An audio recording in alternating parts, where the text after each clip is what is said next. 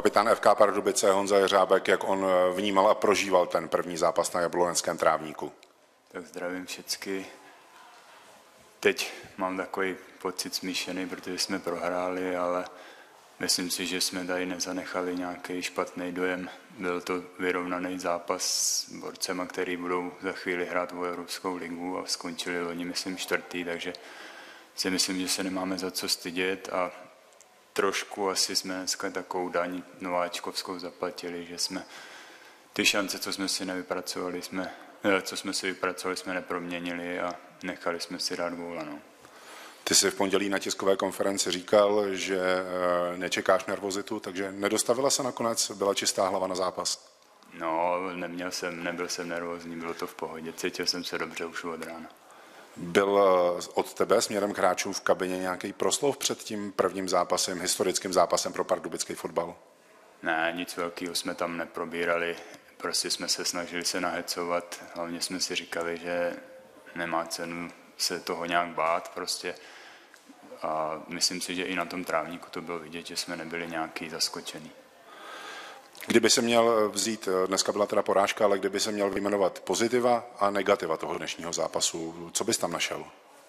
Tak negativa určitě, že jsme si nechali dát gol, protože to jsme, to jsme měli hlavní cíl, aby jsme uhráli tady nulu a věřili jsme, že si dopředu něco, něco vypracujeme a bohužel to, co jsme si vypracovali, měli jsme tam tři, čtyři nějaké šance docela slušný a neproměnili jsme, takže negativa zase na druhou stranu to, že jsme neproměnili ty šance. A pozitiva, myslím si ten elán, takový, že jsme i do té hry se dostávali, byly tam i pasáže v druhém poločase, kdy si myslím, že jsme byli víc na balonu a musíme takhle pokračovat dál pohledem zkušeného Matadora, jak se ti líbila hra mladíků v naší sestavě, teď eh, napadá mě Tomáš Solil, Lí hrál v závěru. Jak se ti líbí hra tady těch mladých kluků vlastně v tomhle extrémně těžkém, v téhle extrémně těžké soutěži?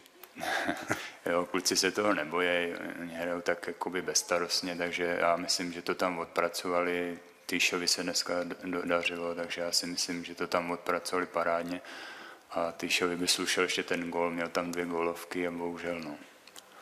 Eh, co si říkal tomu, že v závěru se vrátil Michal Petrán, navrátilec z Karviné, o kterém se dlouho mluvilo, že je zraněný a je mimo hru? No, už nějakou dobu trénoval, nemohl nějak do soubojů a to, ale teď už má rameno v pohodě a, a na ten závěrečný tlak jsme ho tam, nebo ho trenéři ho tam zkusili dát a bohužel neujalo se, ale já myslím, že jeho čas přijde. Honzo, děkujeme moc. Díky, naschle. My děkujeme.